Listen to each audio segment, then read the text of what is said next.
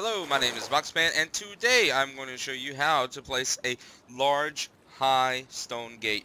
So, by placing a large, high stone gate, you're sealing off your high wall compound. Whether the high walls be stone or wood, you can always use a gate.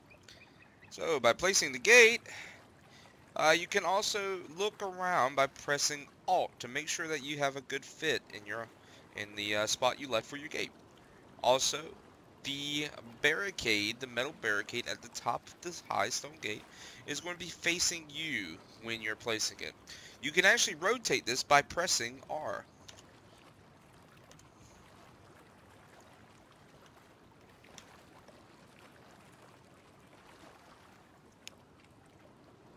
We'll place the gate real quick. You can see I've rotated by pressing R and the barricade is now facing the other direction. By placing a gate, you can always put a code block on your gate so no one else can open your door. By opening the door and placing another high wall,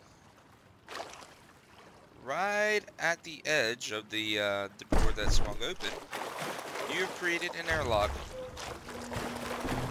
for your large high stone gate. Thanks guys for watching the video. If you like more videos like this, make sure you subscribe and hit that like button for me.